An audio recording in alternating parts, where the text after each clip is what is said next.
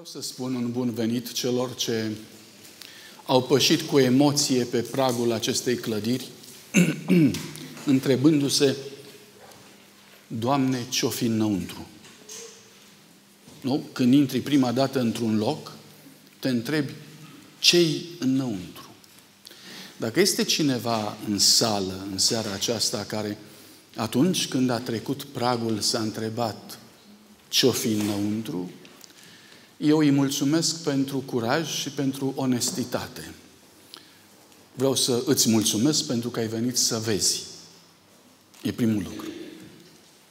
Al doilea lucru care vreau să-l spun este că dacă ai trecut pragul și ai ajuns aici, personal apreciez și simt că Dumnezeu face minuni astăzi în lume. Dacă cineva are și trăiește munca sufletului în căutare de adevăr, aceasta nu este altceva decât mărturia faptului că pentru fiecare dintre noi se dă o luptă extraordinară din partea lui Dumnezeu pentru a face cunoștință cu ceva mai înalt, superior, pe care nu-l găsim pe străzile vieții noastre.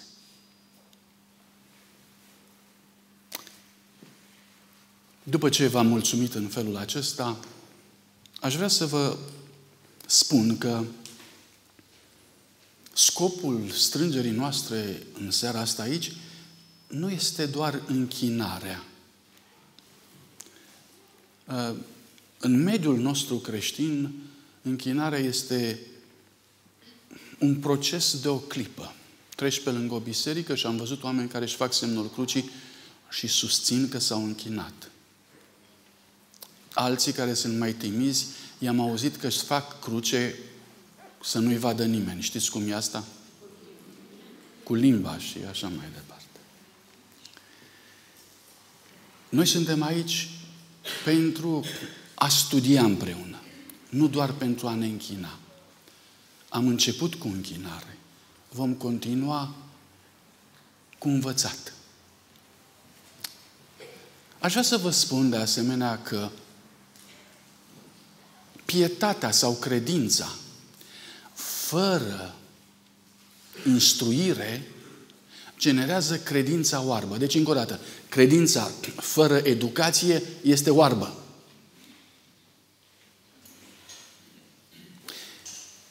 Poți să crezi în orice. Și când îți trece o pisică neagră prin față, tu poți să crezi în ceea ce ți se întâmplă și să pretinzi că ești credincios. Poți să crezi că dacă ți-a ieșit cineva cu o găleată goală înainte, îți merge rău. Poți să crezi în tot felul de lucruri. Repet, dar dacă credința nu este educată, este oarbă. Deci, începând din seara aceasta, aș încerca să vedem câteva probleme care ni le pun în față viața. Spre exemplu, cu câtva timp în urmă am luat dintr-o librărie o carte care avea titlul mare um, Ce a lăsat în urmă creștinismul? Cu alte cuvinte, comoara care o avem datorită a secole de creștinism. Și am deschis-o și când am deschis-o, am observat câteva lucruri. O să încerc să vi le pun și să le urmăriți și dumneavoastră. Primul slide, o să rog media să mă ajutați cu el. Iată o imagine din cartea aceea care îmi arăta ce a lăsat în urmă creștinismul. Iată, uh, Biserica Sagrada Familia din Barcelona. Impresionant.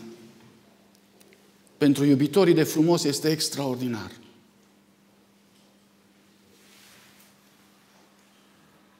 Înălțimea. Dimensiunile. Faptul că pe fiecare centimetru pătrat aproape se găsește artă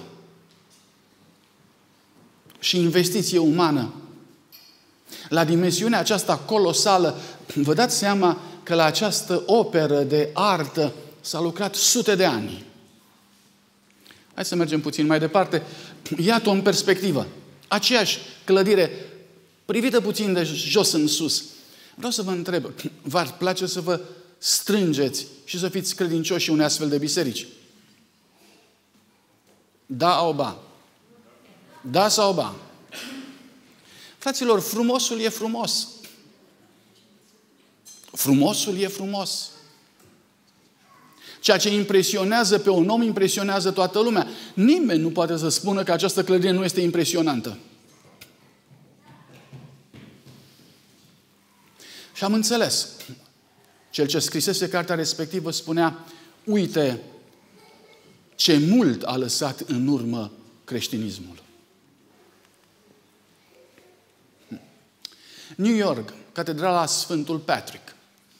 Iată un alt tip de biserică, de asemenea, de o frumusețe colosală. Intri în această, în această lume și te simți copleșit. O biserică de felul acesta te scoate din spațiul citadin. Suntem în New York. Nu mai vezi nimic din problematica New Yorkului și găsești aici un colț de liniște. E bine?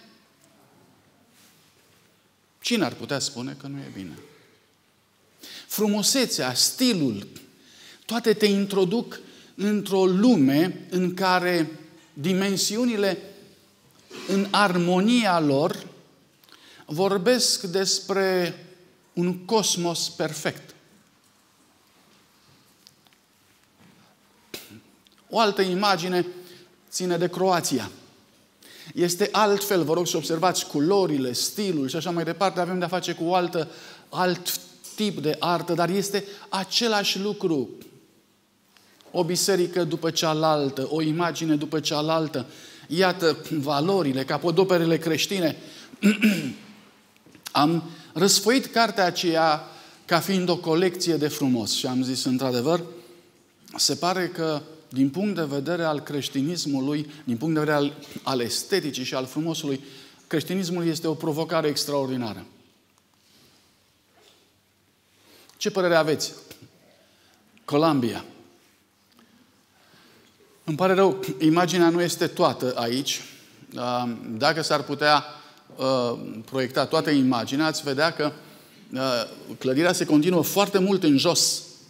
Acolo, în partea de jos, este doar un pod și clădirea se continuă mult în jos, astfel încât ea este plasată între doi munți cu o imagine și cu o vedere care îți taie respirația. Este extraordinar. Aș, aș vrea să înțelegeți că lumea e cucerită de așa ceva. Acestea sunt argumente de estetică, de artă, de frumos, dacă vreți și de închinare, care se aduc în favoarea creștinismului. Iată, Iceland, Reykjavik. O imagine modernă a unei biserici, fără linii multe. Această trimitere simplă către infinit. din marmură albă, uluitoare în simplitatea ei. Face oarecum contrast cu ceea ce observați aici. Etiopia.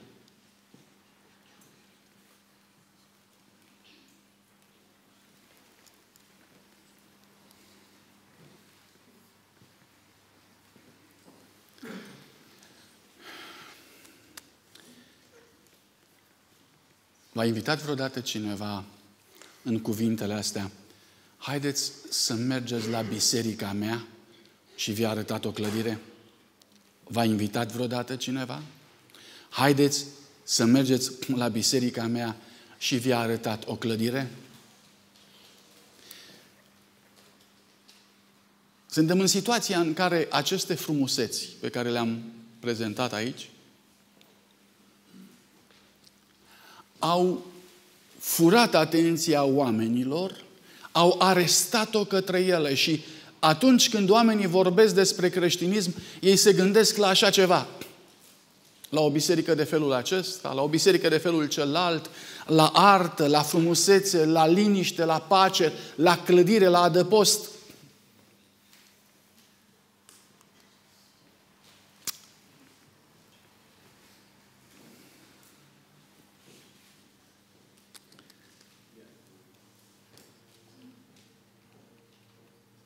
Vă las pe dumneavoastră să gândiți.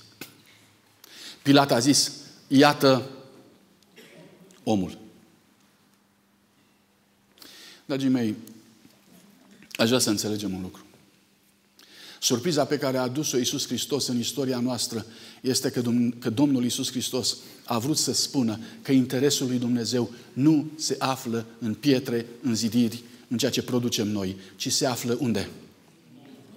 În om. Și când Dumnezeu a spus lucrul acesta, s-a angajat în cel mai sensibil domeniu. Știți de ce? Că uitați-vă cum se crește un om. Mamelor, părinților, aduceți-vă aminte câte investiție puneți în creșterea unui copil. Îl crești, îl educi. Șapte ani stă acasă, dacă mai stă. Apoi, de la șapte ani de zile, îl trimiți la școală îl urmărești cu lupa în fiecare zi și a făcut temele, pe unde umblă, a venit acasă, nu cumva s-a înhăitat cu nu știu cine, vine sau nu vine, trece mai departe, ajunge la adolescență. Domne, parcă a explodat o bombă în el, nu te mai înțelegi cu el. Neuronii și așa mai departe, te duci cu el la doctor, doctorii spun, stai puțin, nu, așa e normal, așa trebuie să fie. Liceul, armata, facultatea, pe urmă, trebuie să-l și însori. Sigur, nu mai e la modă. Astăzi se însoară tinerii singuri. Dar numai că îți vin acasă și nu știi pe cine ți aduce. Așa că ai emoții. Ai tot felul de... te consumă. Și apoi, după ce s-au așezat toate, după, acelea, după aceea parcă nu mai există el parcă dispare. Că i-au venit copiii. Și au venit copiii lui. Și de acum încolo nu se mai îngrijește de el, se îngrijește de copiii lui și așa mai departe. Spuneți-mi, vă rog, ce-i viața? Dacă un părinte se îngrijește atât de mult de un copil să-l ridice, spuneți-mi, vă rog, Dumnezeu, cât de mult se îngrijește de noi să ne ridice, să ne formeze? Și te ridică Dumnezeu. Și înveți din viață că greșești odată, greșești de două, greșești de trei ori. Și Dumnezeu te învață ca să înveți din greșeală, să nu mai repeți. Și apoi te ridică Dumnezeu la un nivel și pe urmă, când ai ajuns la nivelul respectiv, descoperi că ai îmbătrânit. Păi, te întreb din nou, acum când te-a lustruit Dumnezeu, acum când te-a făcut Dumnezeu, când te-a terminat Dumnezeu. Acum ești gata? Adică s-a terminat? De-abia de acum încolo trebuie să lucrezi. Și tu ești bătrân cu părul alb. Cât timp, cât timp beneficiază Dumnezeu de toată investiția pe care a făcut-o în tine? Cât timp? Cât timp îi dai lui Dumnezeu? Hm? Cât timp îi dai? Ați auzit pe unii care spun cam așa, la pensie o să mă pocăiesc. Adică, știi ce? Până atunci o să fac de toate, iar la pensie, când va veni timpul, văd eu, mă descurc eu cu Dumnezeu. Plătesc biletul ca la spectacol, plătesc ce vrea Dumnezeu, intru înăuntru și m-a prins. Te întreb încă o dată, cât timp îi dai lui Dumnezeu? Că dacă te duci la pensie sau așa mai departe, și dacă de atunci începe Dumnezeu să te formeze, dacă de atunci începe să lucreze la tine, cât timp îi dai lui Dumnezeu?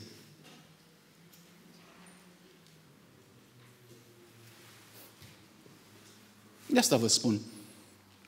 Dumnezeu și-a propus să lucreze cu omul și să lucreze în om în momentul în care omul ca valoare este o valoare extrem de perisabilă. Și dacă omul nu înțelege planul lui Dumnezeu, atunci s-ar putea întâmpla să fie mântuit ca prin foc.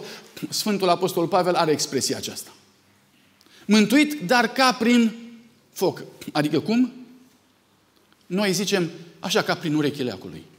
Bun, ai scăpat, dar cât timp i-ai dat lui Dumnezeu? E ca cu o operă de artă. O construiești, o faci, o ridici frumos, îi pui vitralii, îi adaugi, eu știu, pictură. Pe aici, pe acolo, descoperi nu urme, ci cantități mari de aur, ca întotdeauna lumina să fie reflectată către privitor. Și când totul e gata, când totul e gata, spuneți-mi ce se întâmplă.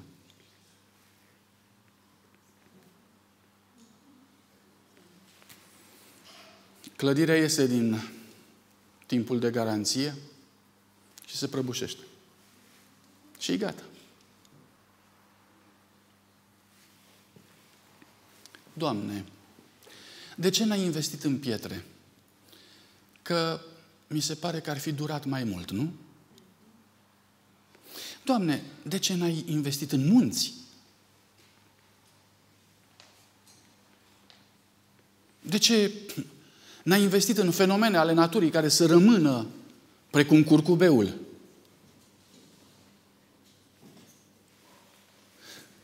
De ce? S-au investit Dumnezeu?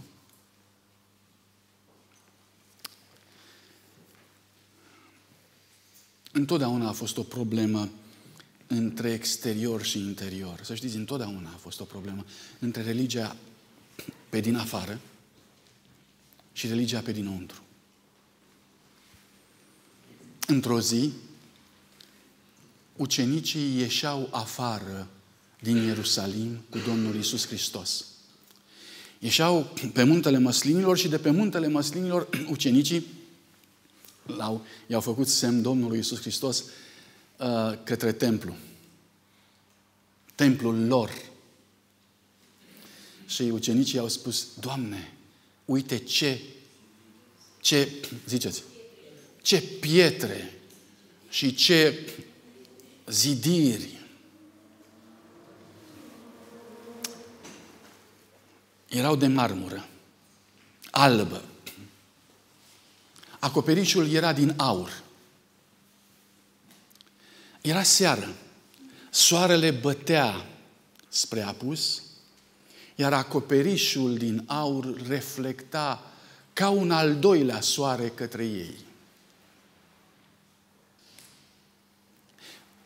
Imaginea era de neuitat. Copleșiți de frumusețe, ucenicii zic, Doamne, ce pietre și ce zidiri. Ucenicii ziceau, ce biserică avem, ce extraordinar. Și Mântuitorul se întoarce către ei și cu durere se uită în ochii lor și le spune, păi, nu va rămâne aici piatră pe piatră. Înțelegeți? Dragii mei, cultura nu va învia niciodată. Niciodată. Cu omul, Dumnezeu se va mai întâlni măcar o dată. Cu fiecare dintre noi. Pietrele pe care le admirăm. George Radu Chirovici la un moment dat spunea am văzut câțiva care se plimbau prin niște pietre care erau rămășițe antice, așteptând să sară câte un atom de înțelepciune din pietrele respective, poate le va lumina și lor mintea cuiva. În timp ce suntem atât de respectoși față de acele rămășițe vechi, suntem total nepregătiți să înțelegem sufletul omenesc pentru care Iisus Hristos și-a dat viața. Nu există altă valoare în univers mai mare, mai puternică, mai extraordinară decât acest strigăt, ecce homo, iată omul. Și Pilat arată spre Isus Hristos. Vreau să te întreb. Cum te simți? Cine ești? Se poate întâmpla ca în viața ta zidurile să, valori, să valoreze mai mult decât propria ta valoare? Se întâmplă?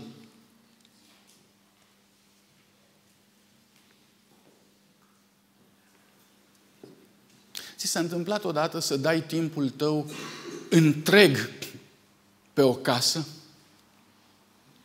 Ți s-a întâmplat odată să dai timpul tău întreg pe o mașină? Să dai timpul tău întreg, dau orice, numai să-mi cumpăr o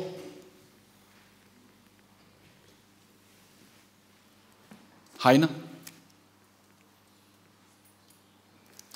Același autor pe care l-am amintit înainte spunea că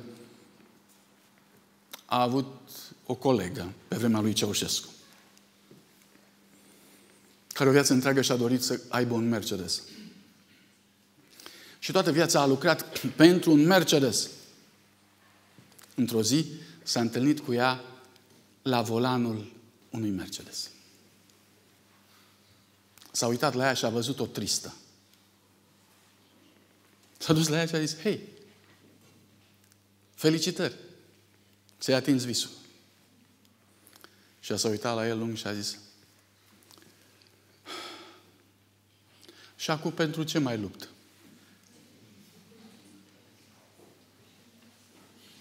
Și spune el ironic, m-am întors înapoi și m-am gândit, cumpărăți un elicopter. Regula societății noastre.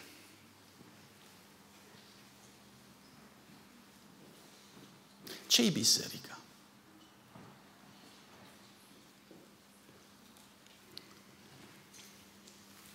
Vă las cu întrebarea aceasta. Pentru ca să ne apropiem puțin de Scriptură. Timpul nu ne permite să stăm foarte mult. Cu aceste câteva întrebări doar am deschis o cutie de întrebări pentru cercetarea noastră. Romani, capitolul 8, cu versetul 19. De asemenea, și firea așteaptă cu o dorință înfocată descoperirea fiilor lui Dumnezeu. Haideți să traducem, vreți? Cine e firea? Spuneți-mi, vă rog, la cine se referă? Firea așteaptă cu o dorință înfocată descoperirea fiilor lui Dumnezeu. Cine este firea? Poftiți? Întreaga creație. Mulțumesc. Mai are cineva vreun gând? Sunteți de acord? Da sau nu? Vă spun, așa este. Sigur. Deci, natura, întreaga creație, așteaptă cu o dorință înfocată descoperirea descoperirea omului în calitate de fiu al lui Dumnezeu. Să știți că oamenii se descoperă în diferite calități. Unii se descoperă în calitatea de fiu al lui Dumnezeu, alții se descoperă în calitatea de oameni, pur și simplu, alții se descoperă în calitatea de subuman. Se poartă ca și neoamenii. Noi ne mai zicem unul la altul, măgarule. Nu? Uh, înțelegând prin faptul acesta că respectiva persoană uh, se poartă ca un asin. Da? Uh, nu mai amintesc de porci și de alte animale pe care întotdeauna ni le adresăm unii la alții, arătând că am ajuns să coborâm acolo. Mă întorc la text. Firea așteaptă cu o dorință înfocată descoperirea omului în ce calitate? De fiu al lui Dumnezeu. Dragii mei, calitatea aceasta de fiu al lui Dumnezeu ne smulge din mediocritatea vieții noastre. Noi nu avem voie să trăim ca orice om, ca un om mediocru care nu știe cine este. Noi suntem fii ai lui Dumnezeu și fiind fii ai lui Dumnezeu, lucrul acesta ne dă o calitate unică. Vreau să te întreb, trăiești ca fiul al lui Dumnezeu? pe pământul ăsta, pe ulițele noastre, în fiecare zi. Cum trăim? Trăim ca fiii lui Dumnezeu. Interesantă este această afirmație, mă, mă provoacă foarte mult Apostolul Pavel aici. Oare cum ar trebui să se poarte un creștin cu animalele? Poftiți? Ca un fiu al lui Dumnezeu. Cum ar trebui să se poarte un creștin cu natura? Ca un fiu al lui Dumnezeu. Conștiința binecuvântării trebuie întotdeauna să rămână împreună cu noi. Noi suntem un motiv de binecuvântare pentru pământul acesta sau, dacă vreți, un mijloc de transmitere al binecuvântării către pământul acesta. E așa? E așa? Nu vă întreb dacă e adevărat. Vă întreb dacă e așa în viața noastră. E așa? Un text mai departe. Căci și firea, adică natura, a fost supusă deșertăciunii. Ce e aia deșertăciune, dragii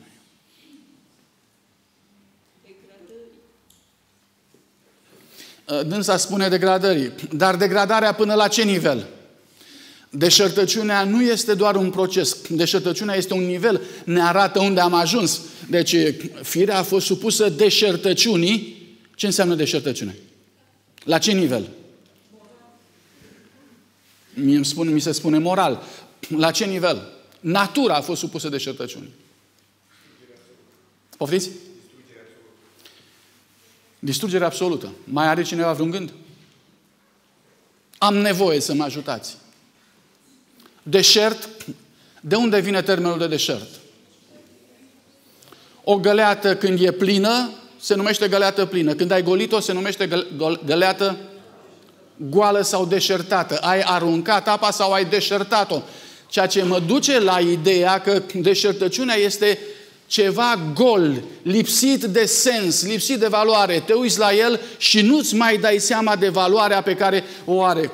Firea sau natura a fost supusă lipsei de sens și a pierdut sensul. Citeam într-o carte foarte frumos, spunea că dealurile, munții, florile nu pot să fie înțelese în adevăratul lor sens decât atunci când ele transmit mesajul iubirii lui Dumnezeu. Abia atunci ele pot să fie înțelese în sensul lor adevărat. Flori. Le-am văzut. Flori. Ce e o floare?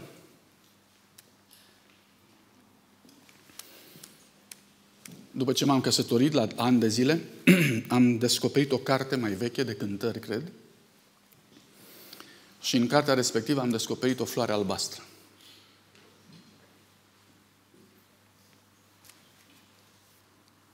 O floare albastră.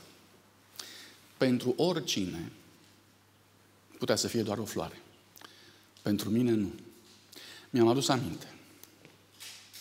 Mergeam pe o potecă de munte, eu mergeam primul, în spatele meu mai era cineva, a treia persoană era viitoarea mea soție, cu ochii albaștri. Am trecut pe lângă o floare albastră, am rupt-o și am pus-o pe o, pe o piatră, pe o stâncă care era acolo. Am fost sigur că o va vedea. După ani de zile am găsit-o în cartea de cântări.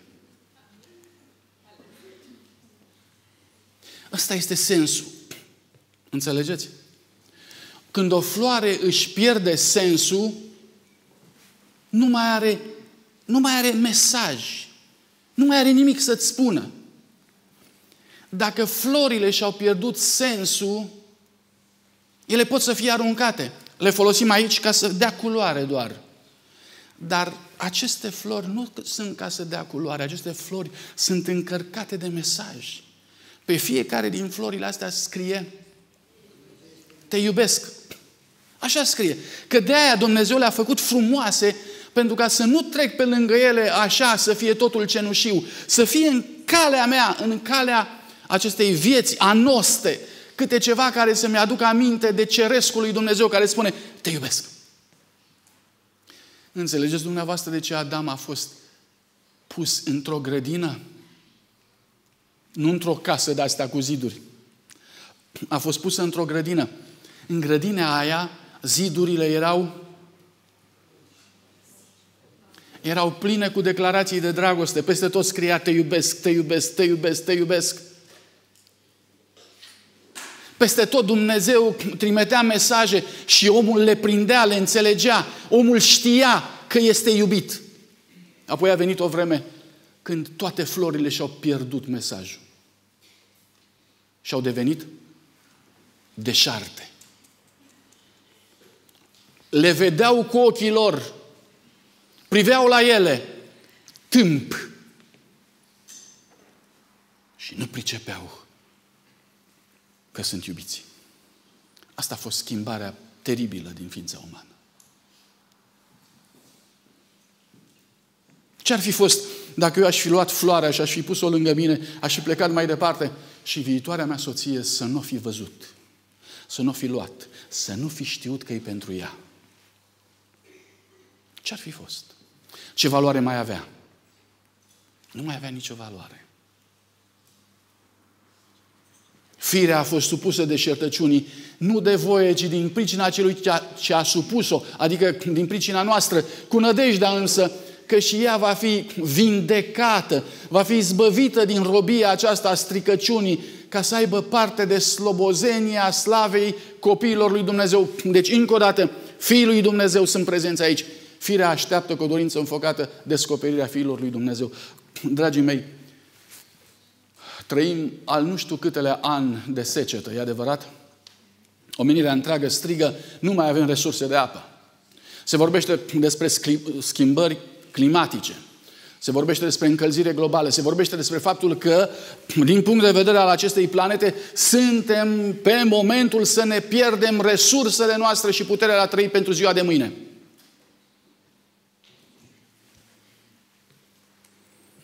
Am intrat într-o zonă de frică teribilă. Suntem gata să facem orice, să ne sacrificăm chiar pe noi înșine, pentru ca să meargă mai departe planeta. Când Dumnezeu spune un singur lucru. Aveți grijă. În toate aceste lucruri sunt doar semne ale faptului că natura așteaptă cu o dorință înfocată ca voi să deveniți cum? Sau ce? Fii ai lui Dumnezeu. Deveniți mai buni. Deveniți, faceți, fiți parte din familia lui Dumnezeu și atunci binecuvântările vor izvorâ din nou.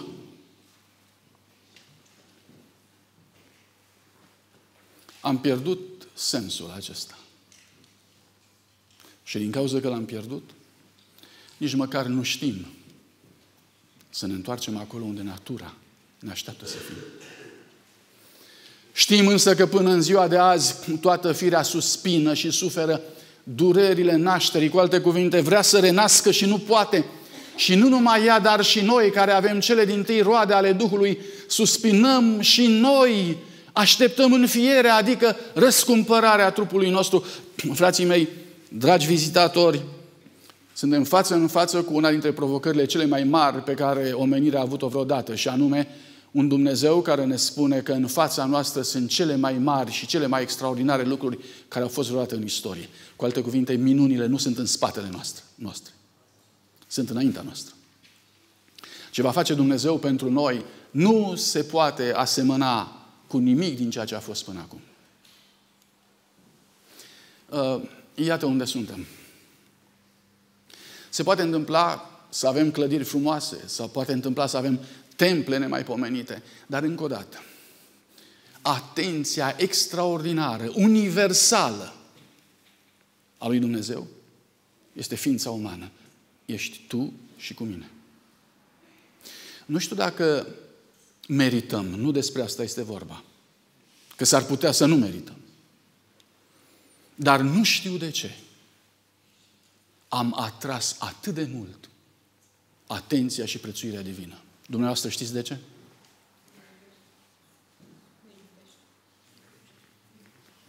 Mă uluiește acest fel de a pune problema. La un moment dat Dumnezeu spune, nu știți că voi sunteți biserica mea? Adică nu știți că voi sunteți temple ale Duhului Sfânt? Spune treaba asta foarte direct. Nu știți că corpul vostru, Trupul vostru este biserica mea, este un templu al Duhului Sfânt și că voi nu sunteți ai voștri. Știți treaba asta sau nu știți?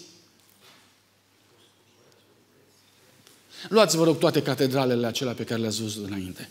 Și vreau să vă spun ceva, că din punct de vedere al lui Dumnezeu, o catedrală la care s-a lucrat 300, 400, 500 de ani, în care mii de oameni și-au adus contribuția acolo, este insignifiantă față de valoarea pe care Dumnezeu o dă pentru tine. De asta v-am întrebat la, la început.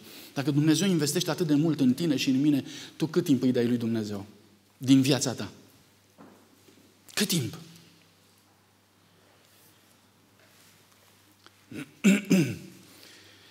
Ceea ce m-a surprins pe mine din punct de vedere al lui Dumnezeu este faptul că Dumnezeu face din oameni slava Lui.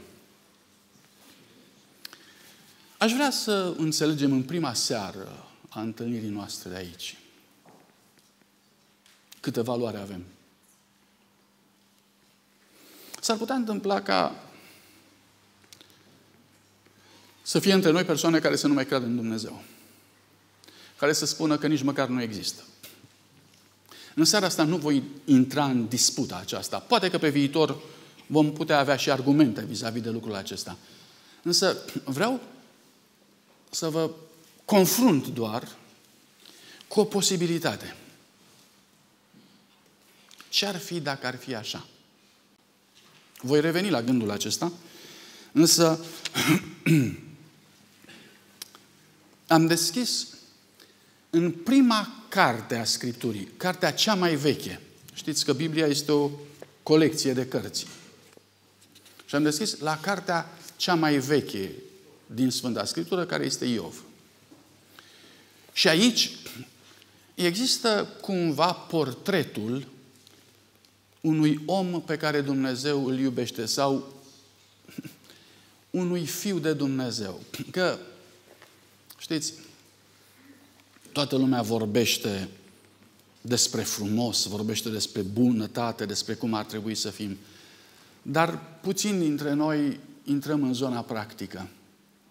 Aș vrea să citesc împreună cu dumneavoastră. Permiteți-mi să citesc. Și apoi, imaginați-vă, comparați-vă puțin viața cu viața acestui om. Pentru că el, Iov, în capitolul 31, el vorbește despre viața lui. Fiți atenți cum se trăia altă dată. Deci, încă o dată. Fiți atenți cum trăiau oamenii altă dată. Versetul 5. Dacă am umblat vreodată cu minciuna, spunea Iov, dacă mi-a alergat piciorul după înșelăciune, să mă cântărească Dumnezeu în cumpănă, în cumpăna celor fără prihană și îmi va vedea neprihănirea. Vreau să vă întreb, se poate trăi astăzi fără să minți? Repede. Se poate trăi fără să minți?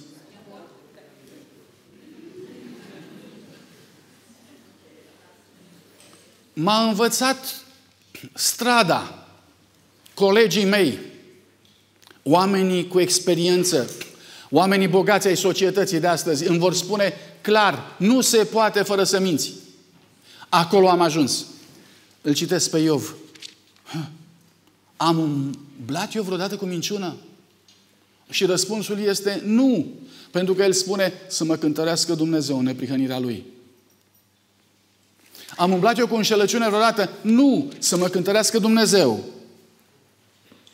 Versetul 7. De mi s-a abătut pasul de la, casa, de la calea cea dreaptă. De mi-a urmat inima ochii. De s-a lipit vreo întinăciune de mâinile mele. Nici o întinăciune? Nimic necurat? Iov. Dragii mei, când citesc asta, mi-aduc aminte de romanul Ion al lui Liviu Rebreanu. La un moment dat am citit spre surpriza mea ceea ce omul ăsta scria și spunea așa, în satul nostru ardelean nu se mai pomenise niciodată despre așa ceva, făcându-se trimitere la comportamentul lui Ion. Nu se pomenise așa ceva. Ion, din punct de vedere al lui Rebreanu, reprezenta o treaptă mai jos decât toată istoria satului lor. Cu câte trepte mai jos suntem? Aș vrea să mă adresez tinerilor de aici. Aveți în față o viață, faceți-o frumoasă, trăiți-o la modul absolut pentru Dumnezeu. Nu coborâți jos niciodată. Citesc mai departe.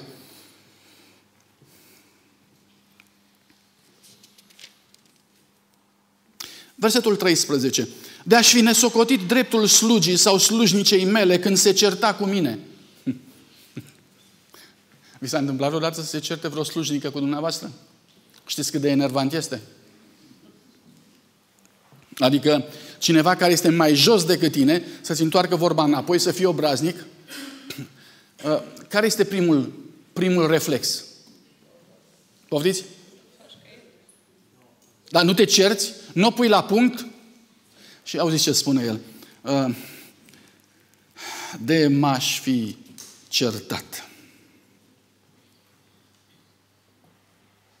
De a-și fi nesocotit dreptul slugii sau slujnicei mele când se certa cu mine, cu ce aș putea să fac?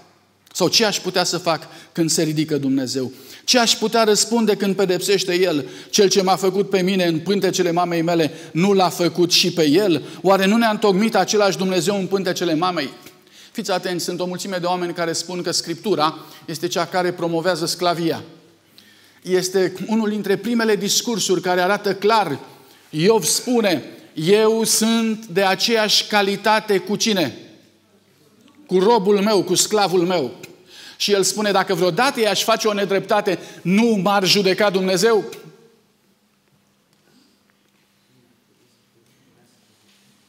Biblia este un manual al dreptății extraordinar. Pe vremuri așa se trăia.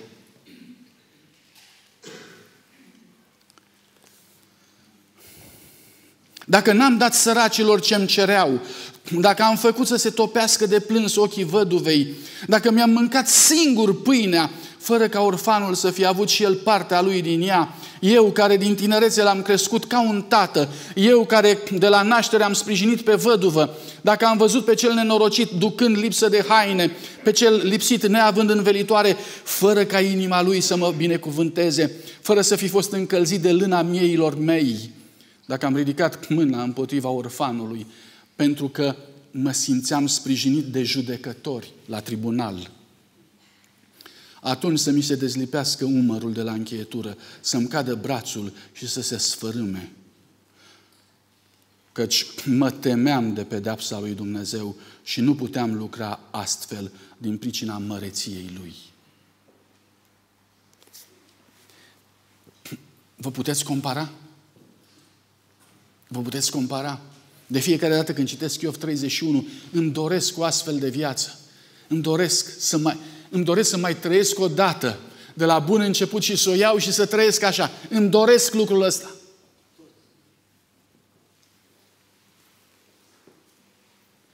Dacă mi-am pus încrederea în aur, dacă am zis aurului, tu ești nădejdea mea, și din nou Iov spune, nu. Da, dacă versetul 29, m-am bucurat de nenorocirea vrăjmașului meu, dacă am sărit de bucurie când l-a atins nenorocirea, eu care n-am dat voie limbii mele să păcătuiască. Wow! Vreau să vă întreb, v-ar face plăcere să trăiți într-o astfel de societate? V-ar face plăcere să trăiți cu astfel de oameni? V-ar face plăcere? În seriile acestea nu voi face altceva decât prin Harul lui Dumnezeu vă voi chema la o astfel de viață.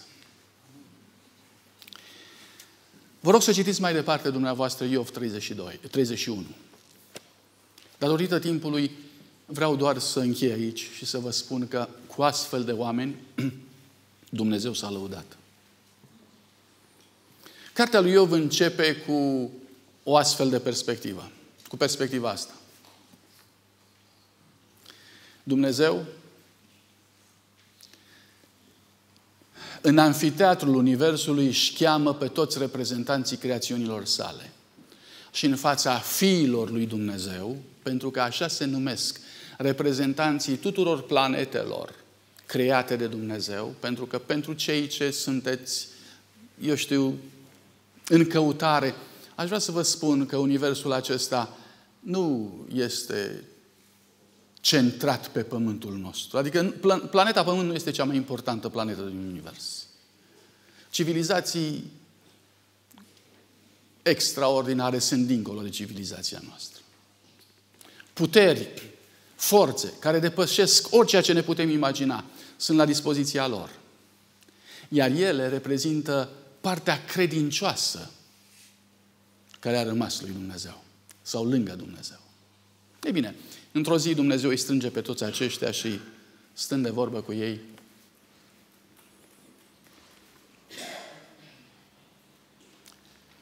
stă de vorbă cu reprezentantul planetei noastre. Uh, îmi imaginez că undeva în anfiteatrul acela imens trebuie să fie existat un scaun pe care, cum sunt la marile forumuri internaționale, este un label sau un nume și pe scaunul respectiv scria Adam, ca reprezentant al Pământului. La vremea respectivă scaunul era gol, pentru că Adam căzuse în păcat. Și în mod cu totul neobișnuit, pe scaunul acesta s-a așezat altcineva decât Adam. Vi aduceți aminte cine a ocupat locul? Reprezentantul nostru terestru, care se numește Satan. Lucifer. Și în momentul acela am rămas uimit de ce Dumnezeu nu l-a scos afară, că dacă eram eu în locul lui Dumnezeu, l-aș fi scos afară, afară pe geam. Dar nu, l-a lăsat acolo, s-a dus aproape de el și a pus cea mai grea întrebare pe care o putea pune lui Satan la, vre- la vremea aceea. Adică Satan, vreau să vă spun că ar fi vrut să discute despre orice. La început l-a întrebat de unde vii și Satan spune, știi, m-am plimbat pe tot pământul și tot pământul este al meu. Da? Mhm. Dar de Iov ai auzit? Și Iov era subiectul despre care Satan ar fi vrut ca Dumnezeu să nu vorbească niciodată. Din ce cauză?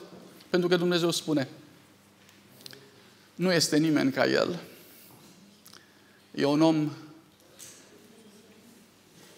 al meu.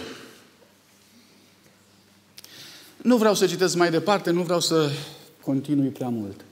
Vreau să continui să spun. Dumnezeu nu se laudă cu clădiri, Dumnezeu nu se laudă cu artă, Dumnezeu se laudă cu oameni. Dumnezeu se laudă cu tine. Înțelegi? Când vei ieși de aici, pleacă din locul acesta altfel decât ai venit. Pleacă în așa fel încât să știi că tu constitui lauda lui Dumnezeu. Vreți să știți cum se cheie psalmul, adică, iertați-mă, Iov 31? Iov 31 se încheie cu cea mai frumoasă, surprinzătoare declarație pe care eu o găsesc vreodată, pe care oamenii o fac în raport cu Dumnezeu. Iov 31,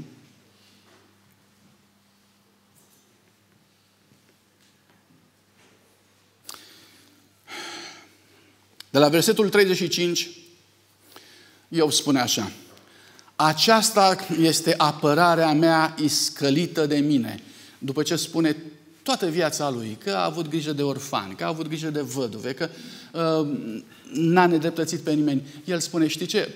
Asta este scrisoarea mea iscălită de mine. Să-mi răspundă să-mi răspundă Dumnezeu la ea.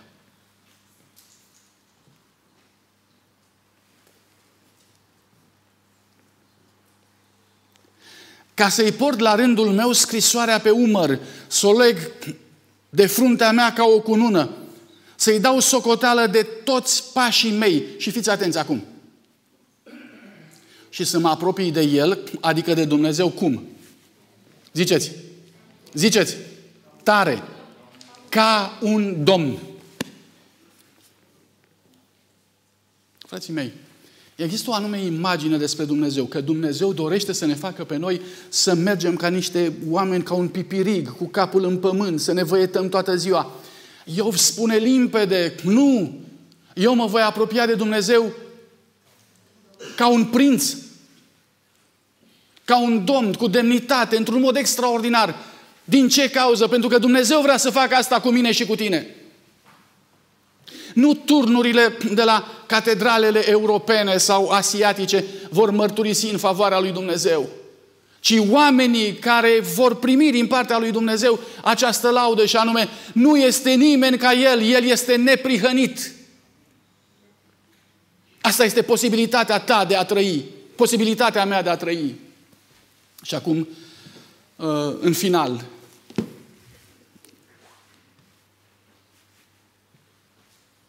Oamenii sunt prietenii lui Dumnezeu dacă ei doresc să-L aibă pe Dumnezeu ca prieten.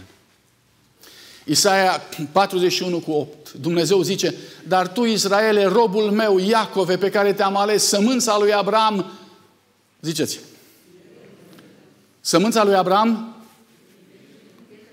prietenul meu. Oameni buni.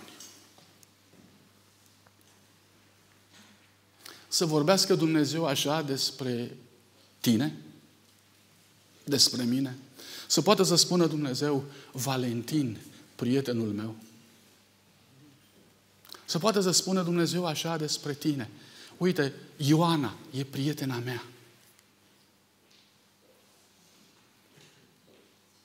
Tu pe care te-am luat de la marginile pământului, pe care te-am chemat dintr-o țară depărtată, căruia i-am zis, tu ești robul meu, te aleg și nu te lepăd, nu te teme că eu sunt cu tine, nu te uita cu îngrijorare că eu sunt Dumnezeul tău, eu te întăresc, tot eu îți vin în ajutor, eu te sprijinesc cu dreapta mea biruitoare.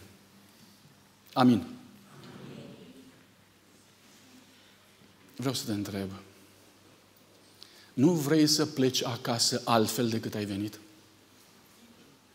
Nu vrei să pleci acasă ca un domn? Nu vrei să pleci acasă hotărât să trăiești o viață așa fel încât Dumnezeu să poată să-ți spună prietene sau frate. Nu vrei să schimbi ceva astfel încât să fii mai prețios decât o catedrală mai prețios decât o operă de artă sau, dacă vreți, să fii opera de artă a lui Dumnezeu.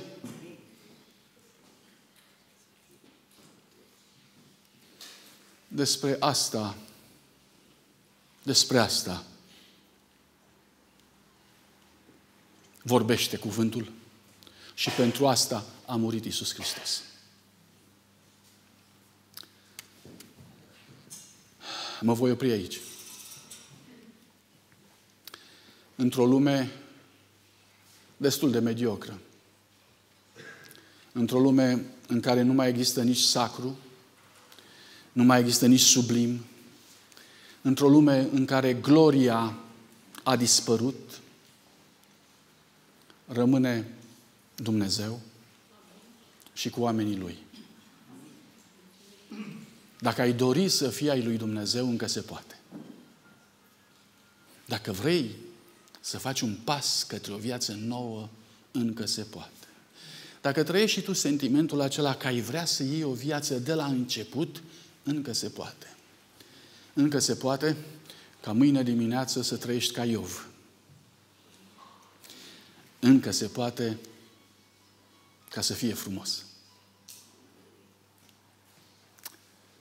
Cu această perspectivă în minte și în suflet, vă doresc binecuvântare și Dumnezeu să rămână aproape de sufletul și de viața noastră pentru o viață nouă. Încă o dată, amin.